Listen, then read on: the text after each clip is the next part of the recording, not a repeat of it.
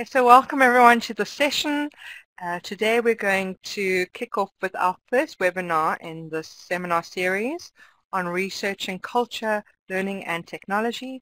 I'm Dr. Nicola Pallitt from the University of Cape Town uh, and today I'd just like to tell you a bit more um, about the Culture, Learning and Technology Division. Some of you may know that Emerge Africa became affiliated with the AECT, Association for Educational Communications and Technology, last year.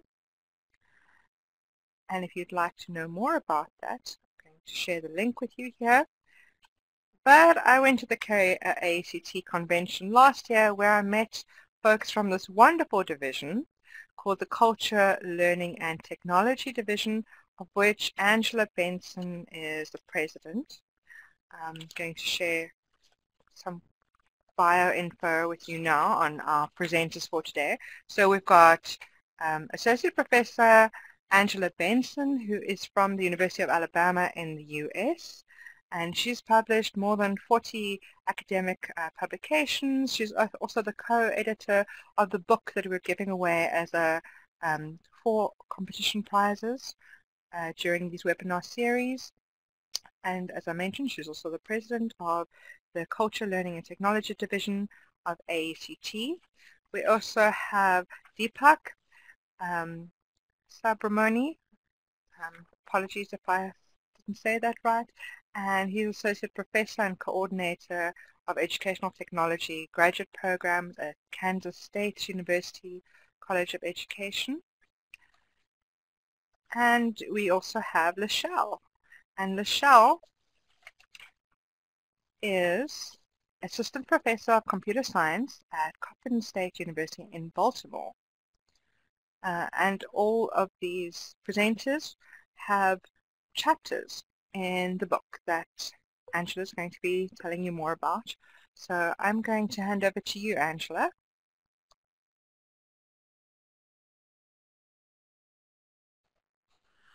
Thank you, Nicola, and uh, thanks to everyone who's in attendance this morning. I just want to welcome you again to the part one of the two-part webinar series on researching culture, learning, and technology. And I'm going to say thank you for being with us this morning. It's probably not morning where everybody is, but it's 6 a.m. on Tuesday morning here in Alabama in the U.S. So I consider this a very important session since I'm up so early in the morning and actually talking. So uh, uh, Nicola gave you some background on who we are. So I'm just going to repeat a little bit of that and then we'll move forward. We are the editors, the, your presenters are editors and authors of the recently published book, Cultural Learning and Technology, Research and Practice. Most of us are members of the Cultural Learning and Technology Division, but not all of us. Uh, in the book, we had AECT members as well as people who were not AECT members. Um, I was fortunate enough, as Nicola said, to meet her at last year's AECT convention in Las Vegas, which was in the U.S., and I hope to meet more of you at the upcoming convention, which is going to be in Jacksonville, Florida, also in the U.S.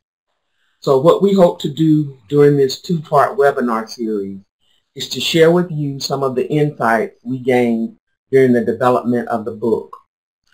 Um, the slide says there will be four of us presenting this morning, but it looks like there will only be three. So you can count. One of us is just missing this morning. Uh, I'll leave each person, if they would like, to give a more detailed introduction of themselves.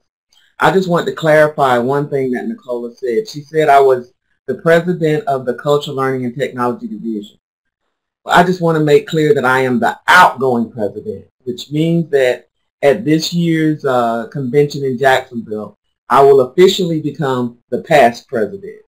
And if you've ever been president of an organization or group, you know it's a lot more fun to be past president than it is to be president.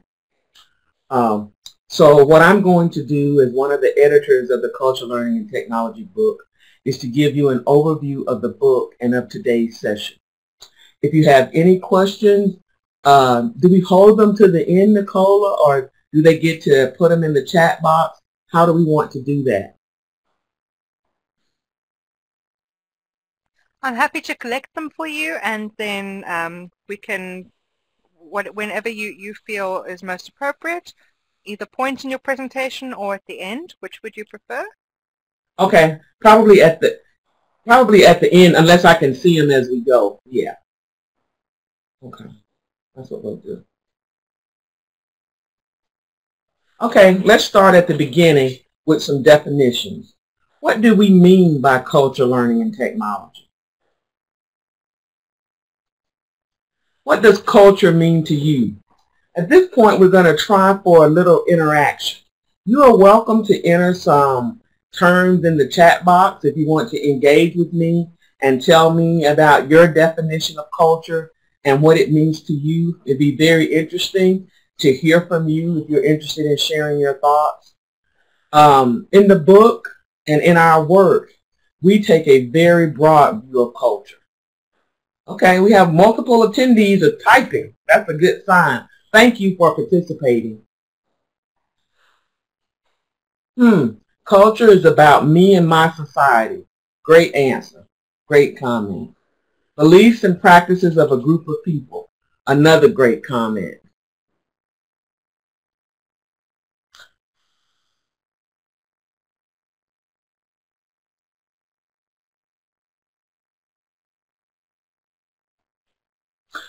Um, there was one definition of culture that I really liked, and you don't have to try to remember this. We will actually provide you some resources to everything that we talk about today so that you can uh, further explore the ideas and concepts that we present. Okay. Culture is a set of basic assumptions and values, orientations to life, beliefs, policies, procedures, and conventions that are shared by a group of people and that influence their behavior and how they interpret the meaning of other people's behavior. That's one of my favorite uh, definitions. And I think the definitions that you shared, see there's Tony's ways of engaging with people or things that are specific to a particular group. Uh, your answers are, are excellent. Um, if you look at the culture umbrella image, you see a lot of um, topics fall under culture. Religion, gender, age, socioeconomic status, generation, and there are some things, there are also some things that don't fall under culture. For example, we don't see school culture in this under this umbrella, but we consider school culture culture as we consider all organizational culture. Ooh, you guys have better answers than I do for what culture is. Maybe you should be giving the presentation. Hmm. Culture is in part the ideas that are normalized from such a long, young age that they seem inherent and natural. Hmm. Thank you. So our view of culture is very, very broad, and it encompasses everything under the umbrella and everything that you've shared. And so broad definitions are good for some people, and they're not so good for other people. But we went broad.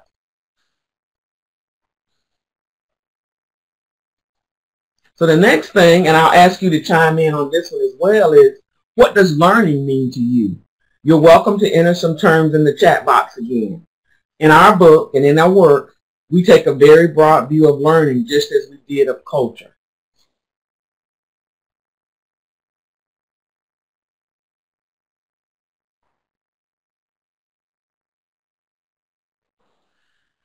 Uh, discovering and applying new facts and behaviors. Great. Thank you, Leshell.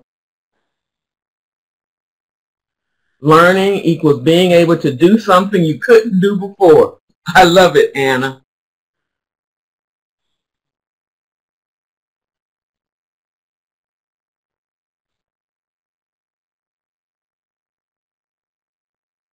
Learning is transformation of capabilities to think and act. Hey, and you're all doing this without a book. This is pretty impressive. It means we're all very smart. Learning. I'm just waiting to see what else is going to be written. So we take a very broad view of learning. And it, it, it, it, captures everything that, that you've written. It's a change in attitude, skills, and knowledge as a result of experience, study, or being taught. It can be formal or informal, intentional or, accident, or, or incidental, in the classroom or at home. All kinds of learning falls under our umbrella of learning. Learning is, is a journey, involves knowing, being, and doing. Thank you, Nicole. Now, of course, the next question is, what does technology mean to you? Once again, you can give us some terms in the chat box so we can interact a bit. And as you can guess, uh, we take a very broad view of technology.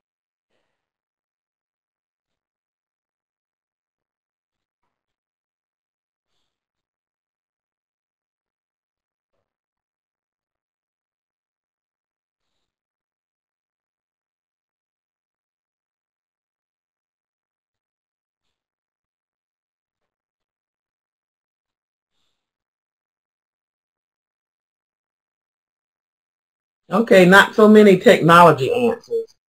Well, typically when we think about technology, the first thing that we think of, think about are the technology products or the toys that we use. Uh, in the image, you see the laptops, the, the mobile devices, you see the film strips, the slide projectors, email, you see the microphones. Um, as, let's see, what, what does Leshell say? Electronic tools that en enable and enhance communication, entertainment, learning, and all aspects of life. Uh, Nicola, tools I have access to in my context that I can use to support me to craft meaningful learning experiences, but also for leisure. Gosh, that's a great answer. Technology that you always had is invisible to you. Hmm, excellent insight. There's a great quote from Douglas Adams that technology is anything invented after you were born. Tools and technology can be synonymous. Oh, great, great answer. So, and I think some of you sort of alluded to it, but when we think about the product technologies, we think about the tools and artifacts, the media, which most people recognize as technology. But In our work, we also include process technologies in our definition. Process technologies includes the strategies, models, and methods that guide the design and development of instruction and the use of product technologies. So can you provide some examples of process technologies? I think a couple of you alluded to some in your uh, uh, description of technology. So what are some process technologies? From your perspective?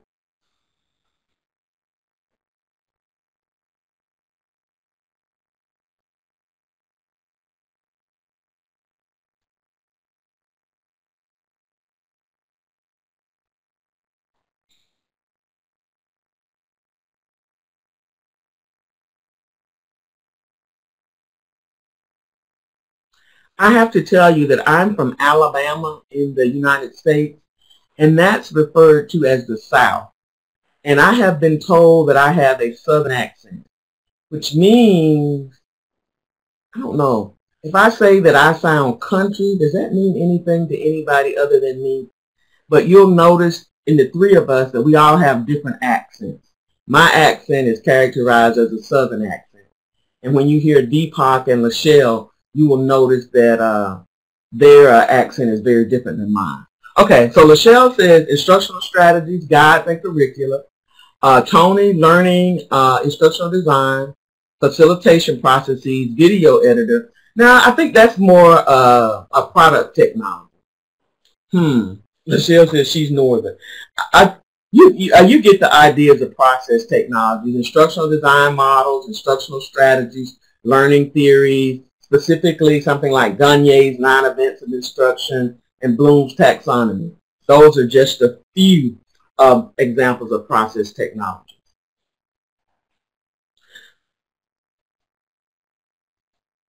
When we talk about culture, learning, and te technology, we are talking about the intersection of these three areas. A lot of work is being done in culture, a lot of work is being done in learning, and a lot of work is being done in technology. But we are looking at work that's being done at the intersection of these three areas.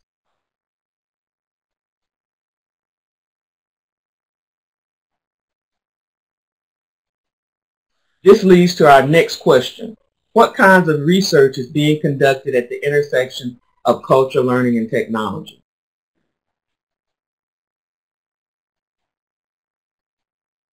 That is a question we began to answer in our book. We don't think our answer is the only answer. Rather, we consider it one answer. As we do more work, our understanding of culture, learning, and technology increases, and the terms become better defined. We answered the question with the categories of chapters that we included in the book. While I will discuss the chapters as though they belong to a single category, it should be noted that some chapters can be associated with multiple categories. First, we included three chapters that use critical perspectives to argue for equity and inclusion in educational technology research and practice. This work basically critiques the status quo and challenges us to do better. The frameworks that guide this work can be characterized as critical frameworks. They allow us to answer questions such as who is included, who is excluded, whose interests are represented, whose interests are marginalized. This work also begins to provide strategies for disrupting inequalities and inequities. The critical perspective moves beyond challenging dominant ideologies or worldviews. It is about defining and identifying instances, methods, and processes of learning that are specific to individual group, groups.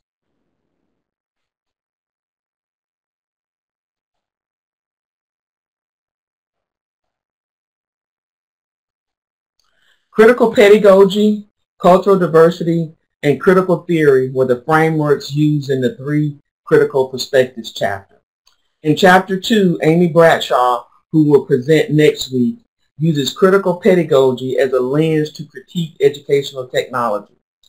Critical pedagogy encompasses educational approaches that are focused on empowering learners, addressing issues directly and immediately relevant to learners, and seeking to transform systems and structures that contribute to oppression and marginalization.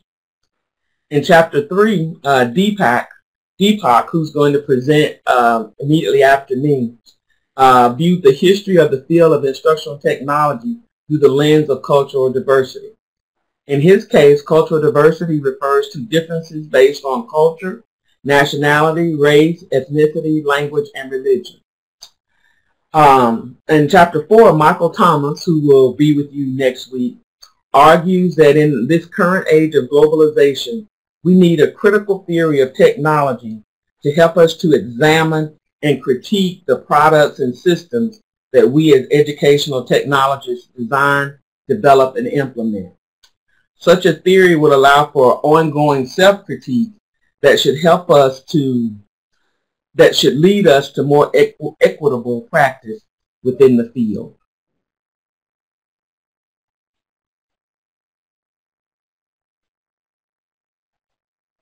The second category of cultural learning and technology research that we included in the book were chapters describing research that employs culture-based frameworks to explore and describe various learning situations and settings.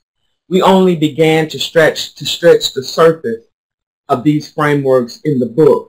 So we are planning a second book that more fully explores these frameworks. Intercultural sensitivity, cultural competency, Hofstede's cultural dimensions, and cultural responsive pedagogy were the frameworks used in the culture-based frameworks chapters. I'm sure that you've heard of uh, some of these frameworks, so I'll just give you a brief overview of them.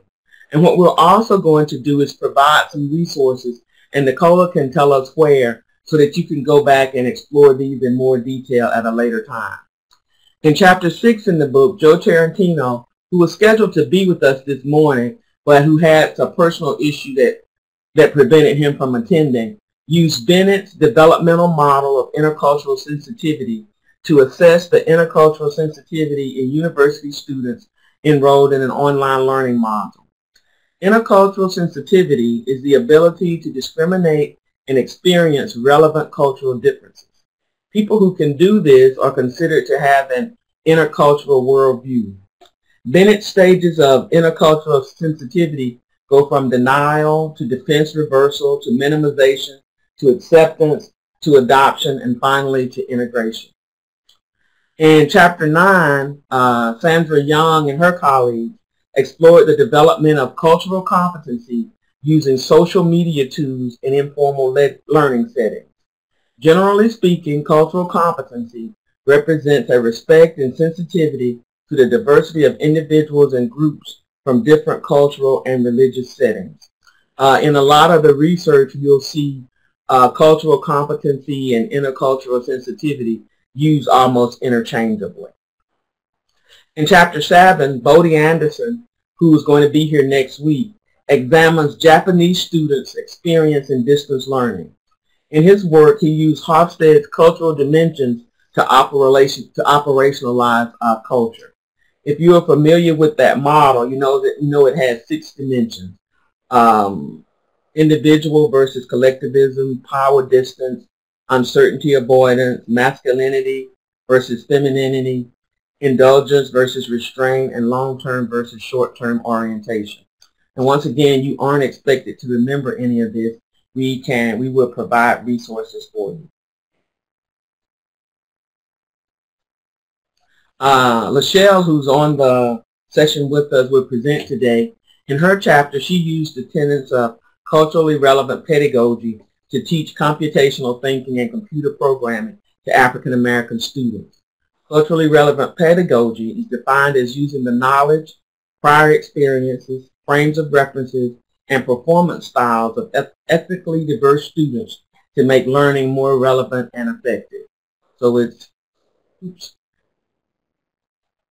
it's just as the title says, culturally relevant pedagogy.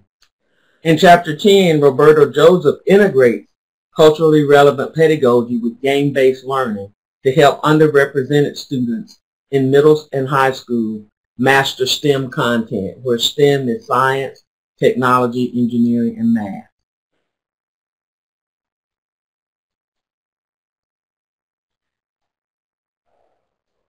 And then finally, the third category of cultural learning and technology research that we included in the book were chapters presenting case studies and research that provide platforms for the voices and experiences of people and groups underrepresented or marginalized in uh, education and education research. This work allows us to apply existing models to these populations in order to learn more about the populations and to identify shortcomings in the models, many of which don't account for culture. Uh, three of the chapters in this category features voices of populations underrepresented in education research. These include Chinese international college students, Australian secondary students, and African American secondary students. Um, chapter 12, Zadao Gao, uses a unified theory of technology acceptance and use to explore Chinese international students' use of mobile learning, which is important in the U.S. since uh, Chinese international students are the largest uh, category, largest population, the fastest growing population of international students. Uh, in Chapter 5, Akesha Horton, who will be here next week, explores the design and delivery of a global hip-hop course for Australian secondary students. Uh, this work could also be categorized as critical. Ooh, I apologize. Um, could also be categorized as critical since it uses uh, critical cosmopolitan theory as a framework. And she will tell you more about what that is. And then we had Netta Khalili, who presented a project to increase science learning in African American students, mostly boys from aging for ages 12 to 16. So these chapters just give voices to voices that aren't typically heard in the education literature. And our final two chapters could actually be in another category, but we kept them in this category. Um, in one of the chapters, chapter 11, Shulong Yang uh, uses boy culture as a lens to investigate the current crisis in boys' education. They posit that boys are underperforming and dropping out from formal education and argue that video games have the potential to re-engage them back in school. And then our last chapter looked at school culture versus the political culture around the schools and how those work together to influence what happens in the school. This chapter reminds us that technology adoption and usage in schools exist in a cultural context that public school stakeholders often overlook. So even though we don't want to talk about culture and the roles that it plays, and sometimes we try to say that it doesn't, it's always there. And that's what that chapter shows. So where do we go next? Our book scratched the surface of the approaches to cultural learning and technology research. So what's next? Our next publication will look more deeply at the different publications that can, the different frameworks that can be used to study CLT. And I'm going to step aside now and allow Deepak and uh, Leshell to present in detail their chapters. And as I said before, we will provide links to resources so that you can further explore the content that we provided. Uh, we're also going to give away two free books, and the rest of you will be able to purchase a book if you're interested at a 20% discount. So thank you.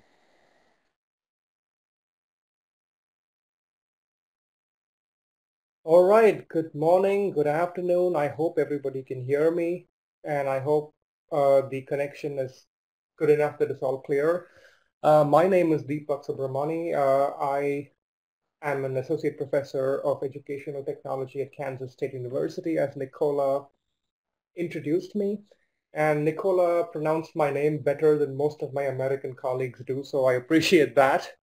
Uh, so uh, I wanted to talk a little bit about my personal background. I was born and raised in India, and I moved to the US when I was 24 years old, which is a long time ago. And uh, I've been in this country ever since. I finally became a US citizen in 2015, just before Donald Trump became president. So I have kind of mixed feelings about that. So apart from that, uh, I'm glad to be here and uh, I feel like I must be driving to the airport or something because that's the only reason why I'm usually up at 6 a.m. Except that I'm here, here, here with all of y'all. So uh, glad to be here. So let's get started. I'm going to try to keep this in 12 minutes. If I go over a little, I apologize. I'll try my best to be on time. So starting with my theoretical approach, uh, before I actually get to that slide, let me just add something here. Uh, I'm looking around this room, this virtual room right now, and I see people from Africa, I see African Americans, and I see me, someone born in India. And one thing that kind of unites all of us is that all of us had our lives touched by colonialism. If you think about it, I mean, whether the colonialism happened recently or it happened in the previous century doesn't matter but the fact is that who we are is heavily shaped by colonialism and therefore that post-colonial mindset the post-colonial perspective does impact everything I do and I, I, I assume it's the same for um, for a lot of you as well. So having said that, let's kind of proceed with this slide. And so my research, I mean, like, okay, so apart from that post-colonial uh, lens, I have a primarily critical approach to research and practice. And uh, as, as Angela explained, I mean, there are various ways in which you can define critical theory. Uh, I see it basically as the practice that is oriented towards critiquing and changing society where, versus merely understanding or explaining it. I mean, traditionally, when you look at scientists or social scientists, they try to dispassionately and objectively understand and explain phenomena, whereas critical theorists see what we do as inherently political and therefore they see a moral responsibility to critique and change society through their research and practice, if that makes sense. I also uh, espouse what can be called the Gramscian perspective, uh, named after the philosopher Gramsci, who basically believe that power relations lie at the heart of every aspect of society. Everything we do in our own families, in our, in our workplaces, in schools, everywhere, at the at the core of everything we do as human beings in society is power. And ruling classes everywhere at all times in human history have used cultural institutions to maintain their power.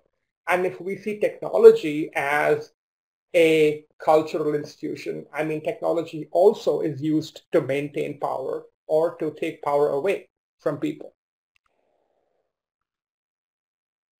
Therefore, uh, I and a lot of other critical scholars see research and practice as acts and expression of our own privilege and our own power.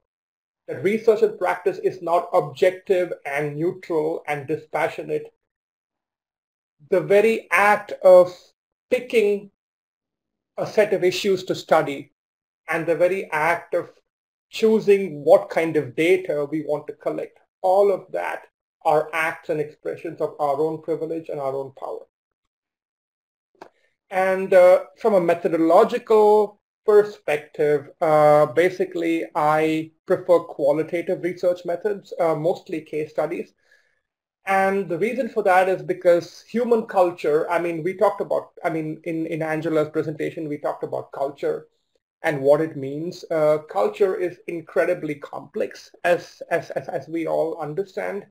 And uh, a lot of traditional quantitative post-positivist research methods involve isolating and manipulating variables. And that's something you really cannot do meaningfully in a cultural context, I believe. And therefore, more holistic research methods, like, you know, allow us to understand the complex phenomena that are that, that make up culture better than experimental, quasi-experimental, or some of those other techniques.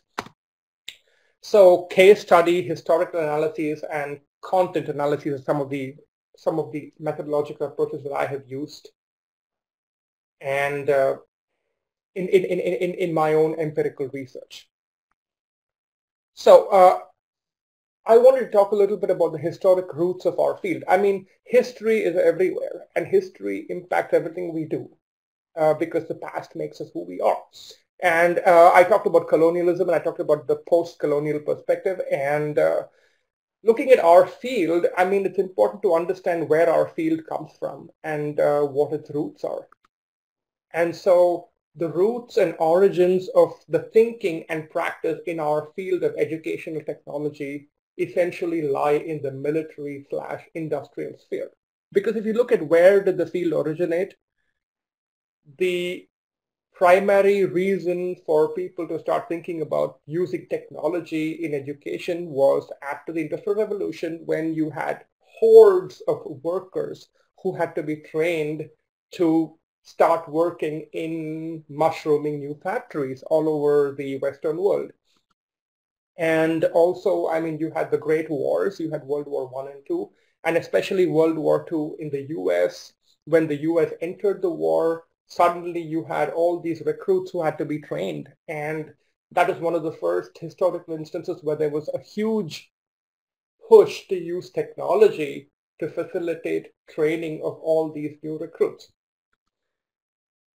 And if you look at workers, if you look at military recruits, and if you look at the kind of interventions that were that were created to train them, uh, it's very clear that these were aimed at a seemingly uniform target demographic. Now, whether that uniformity was just taken as a given or whether it is considered desirable or ideal, I mean, that's up, that's up for discussion. Uh, we, can, we could talk further about that at some other point.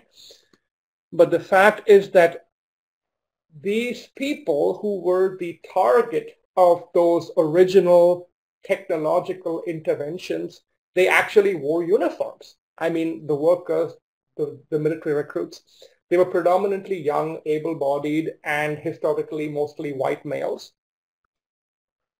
And therefore, I mean, is it surprising that at the origins of our field lie, lies this idea of one-size-fits-all performance solutions? Oh, you're a bunch of very, very similar people, and let's just have one common solution that fits everybody. I mean, and, and, and, and like, you know, And diversity doesn't really matter, does it?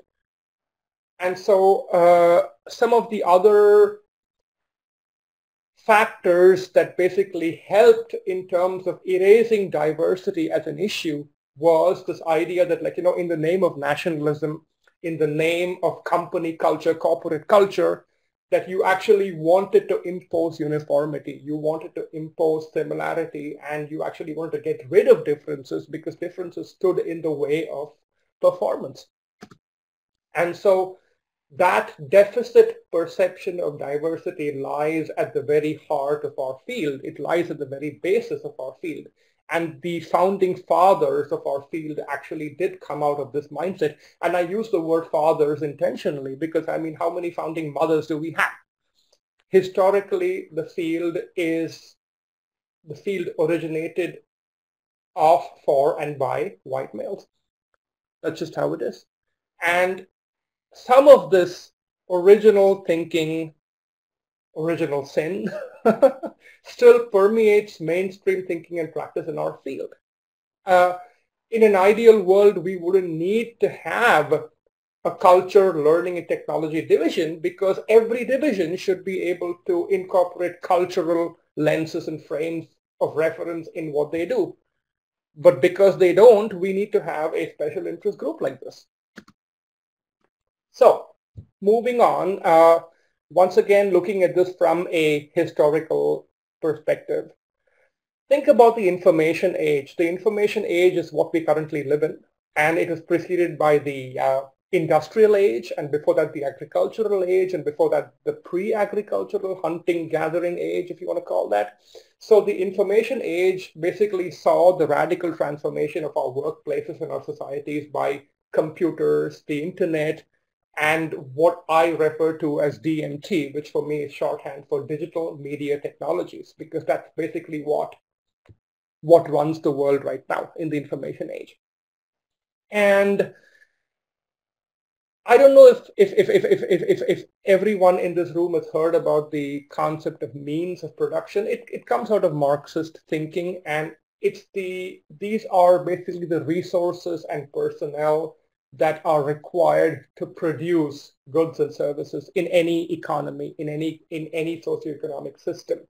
And uh, traditionally, if you look at the industrial age, uh, factories were either owned by wealthy capitalists or by the state. And they literally had, therefore, a stranglehold over the primary means of production in an industrial age system.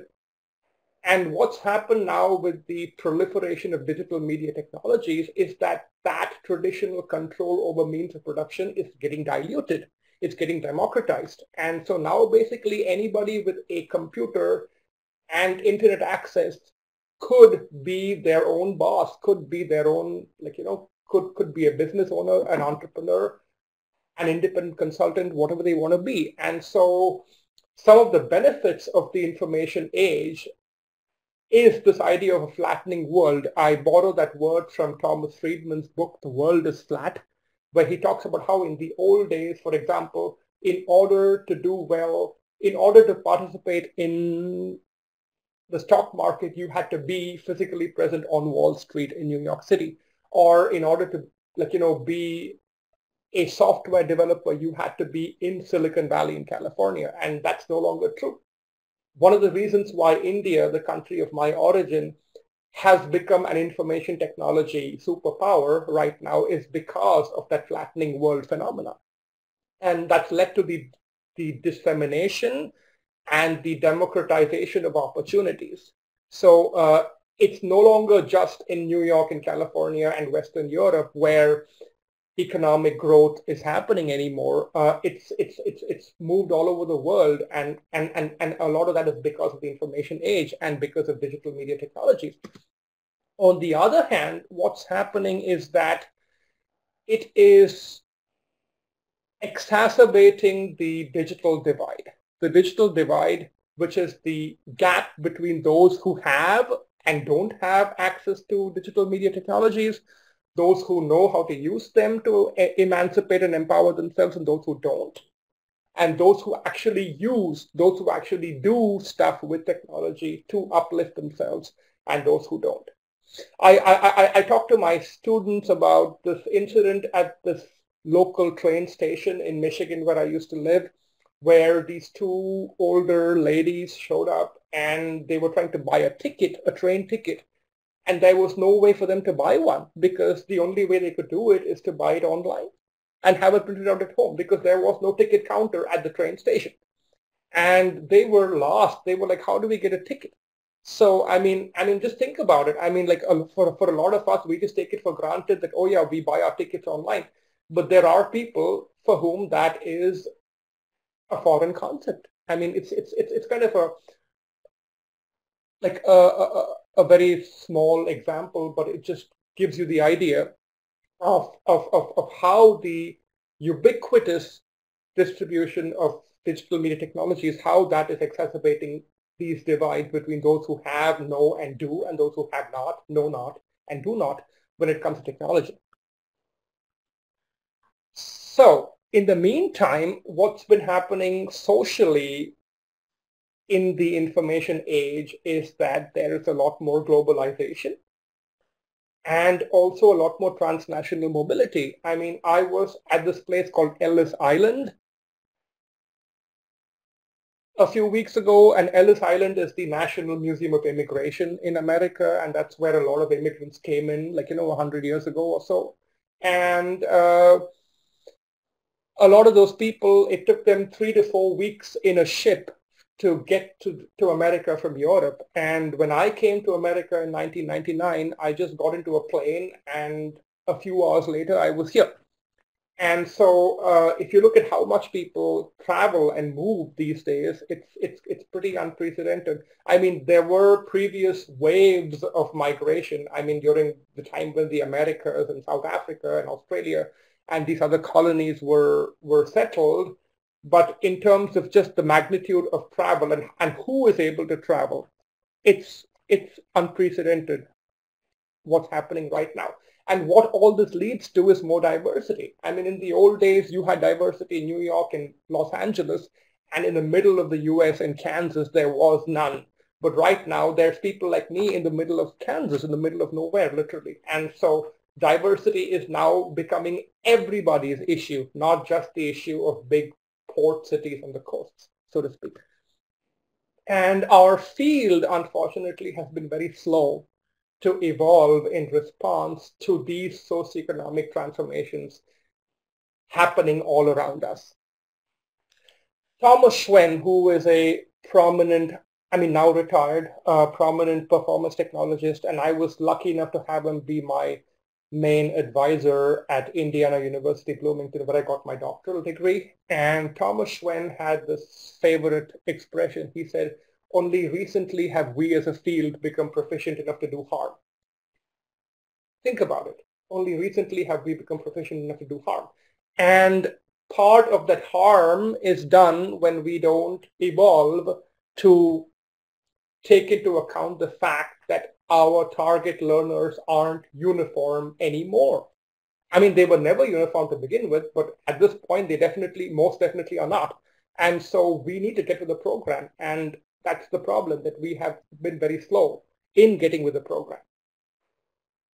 So the article that I wrote, the chapter that I wrote for this book, it is actually a follow-up to an article I wrote back in 2004, and that was one of the first articles that basically named the problem, which is basically that our field as a whole is not paying attention to cultural diversity among our stakeholders. And that is a problem because, because, because, and I, uh, and, and so this current chapter is a revisiting of the issues more than 10 years later from 2004 to 2017. I mean, so we're talking about like 13 years later. And to see like, you know, what has changed, what has stayed the same, and where do we go from here? And so when I talk about findings, I am talking about my current chapter, but I'm also talking about the previous, its, its, its previous iteration, its prequel, so to speak. And so one of the things that I found in 2004 and in 2017 is that cultural diversity is vastly underrepresented, vastly underrepresented in the scholarly publications, conferences, and graduate programs in our field. There is a growing group of reformist scholars, what I would call reformist scholars, scholars who want to change the status quo. And uh, for a long time, we gathered under the umbrella of minorities in media, which was the original grouping of scholars of color in this field. And minorities in media morphed into the culture, learning, and technology division at AECT. And this book is an example of some of the work that this group of reformist scholars is doing to try to bring cultural diversity more to the forefront and more into the mainstream discourse in our field. However, the fact is that even today, even right now, cultural issues remain at the periphery of the mainstream discourse of our field. It is still special interest groups like CLT that are primarily dealing with cultural issues. Cultural issues still find themselves aired only in special issues or in special, like, you know, books like this one, the one that, that, that we all wrote together. It is still not integrated into the mainstream discourse of our field. And as long as that doesn't happen, we still have a problem. And what happens with that systemic inattention to cultural issues is that it exacerbates the digital divide. And it harms the increasingly diverse population of stakeholders who are impacted by our practice. On the one hand, globalization and the spread of digital media technologies means that we as a field are impacting more and more populations around the globe that previously were not impacted by our research and practice. On the other hand, the West itself is getting more diverse as mobility allows more and more people to travel and move and settle in new areas. And so, and whereas our field, by, by, by not evolving, by still not paying attention to these issues, it exacerbates the problems. And one of the problems I talk about in my, in my writings is this vicious cycle of alienation. So on the one hand, you have some pre-existing issues. You have inadequate and inequitable access to technology among historically marginalized and, and underrepresented groups, cultural groups. They often also experience language and terminology barriers because the mainstream language of the field does not reflect who they are. And they also experience a lack of mentors and role models to exemplify the use of technology for emancipation, for uplift, for social mobility. And that's so this entire set of issues in those giant parentheses, I mean, these are pre-existing issues. And so when you add to it the inappropriate and insensitive instructional solutions that result from our field's lack of interest and attention to cultural issues. All that it does is it leads to further alienation from the emancipatory potential of technology for those groups that we talked about. And that goes back to exacerbate those pre-existing conditions. So we end up having a vicious cycle of alienation where groups who have not had a seat at the table in our field, so to speak, get further and further away from the emancipatory potential of technology, if that makes sense.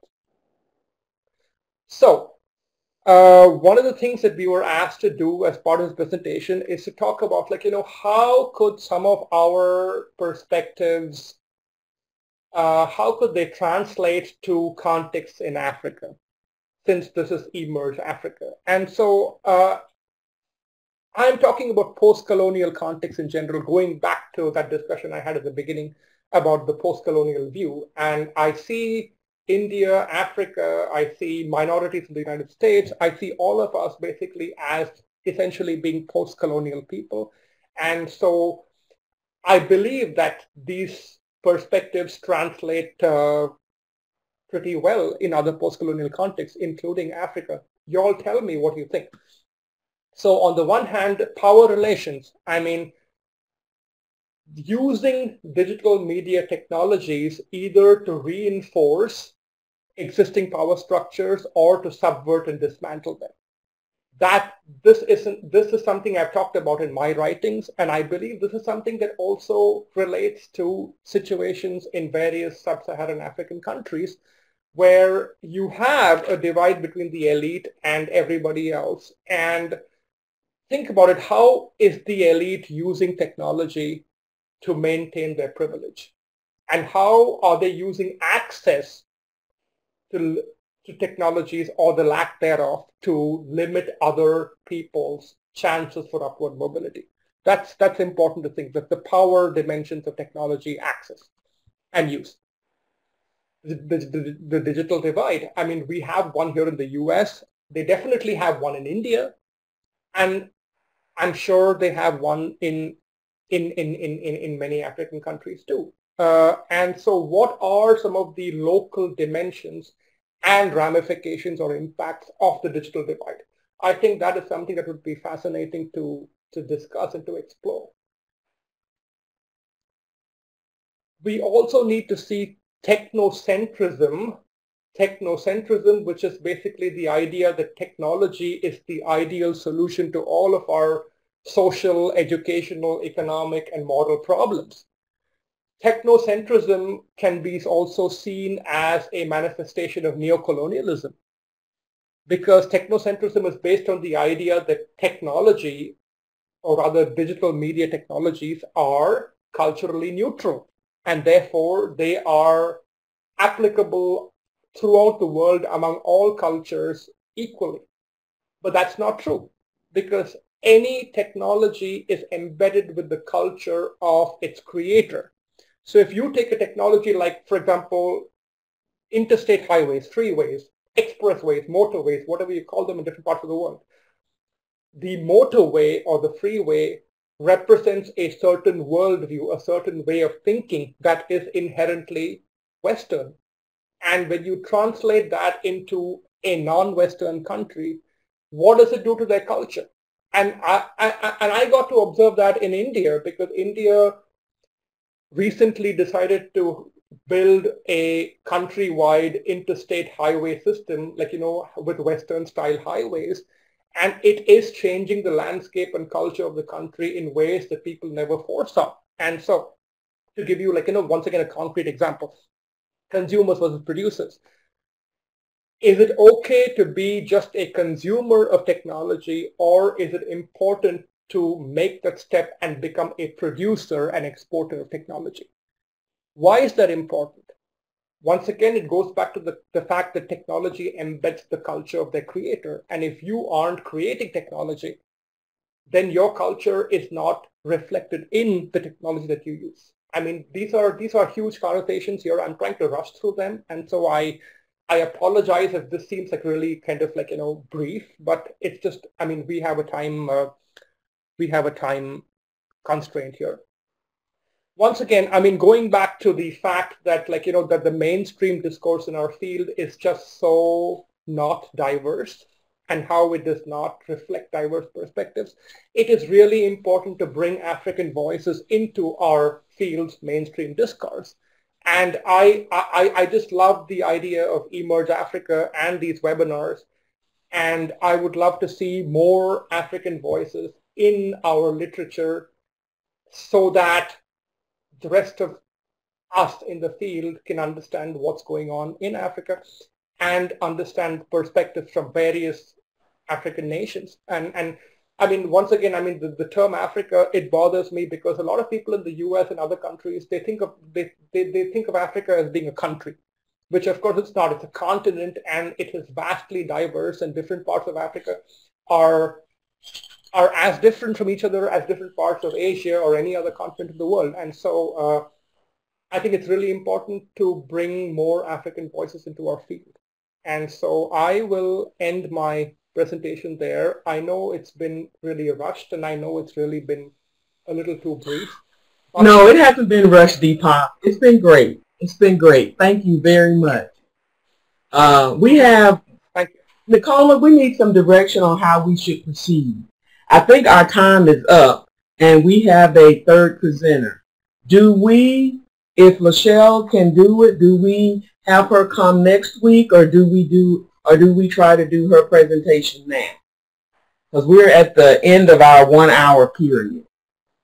So what's your recommendation? Yes, I think if it, yeah, I think if uh, Leshell, if, if next uh, the next uh, webinar suits you time-wise, uh, the other option is we could even have a third webinar in the series. Michelle? Her mic is off. Yeah, so I think we, we can keep in touch and then decide from there. Um, I do want to just say that we have one winner. Um, of one of your wonderful books, and it's Joseph uh, Wambu, who says that Indigenous knowledge is very rich in terms of applicable skills, which complements what is learned formally. So Joseph, we'll get in touch with you. Um, the other colleagues, we'd like to remind you to please enter, if you would like to win a book, uh, ebook, uh, enter the competition. And don't forget to join the second webinar in the series, which is taking place on the 24th um, of this month. I hear folks are typing, Rochelle and Angela. Oh. That's you typing. Oh, I, yeah, I, am sorry. I thought I was I, I, thought I was sending a message to Leshell, and there may be a third session. Yeah. Okay. Yeah, I think we, we can discuss um, what what what work for folks. Okay. But I think this is a really really deep um, series on getting us all to think uh, more critically, also about our own uh, positionality and how we can enhance the what I, I said, you know, the epistemic diversity of the EdTech field. Um, yes, and thanks all for joining us today. And please continue the discussion on our Facebook um, event page. And if you have any relevant uh, resources you'd like to share, uh, please do so as well. And, and thanks to our um, US, uh, colleagues based in the US for joining, um, you know, making this time because I know it's really, um, really early for you guys. So thank you so much. We appreciate it a lot.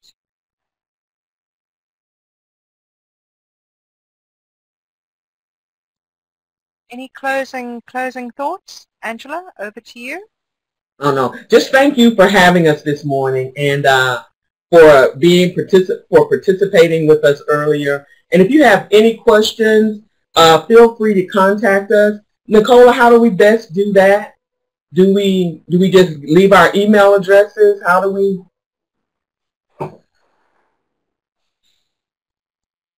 Sure, I think folks can contact us via the Facebook uh, group. Okay. Facebook, sorry, okay. Facebook page, and then we'll share your your email addresses.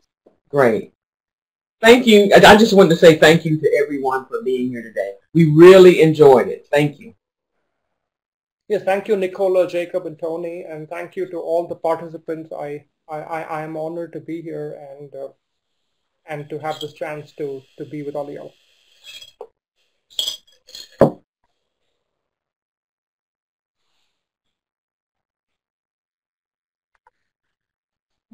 And thank you once again. Um, it was really, really deep and very important.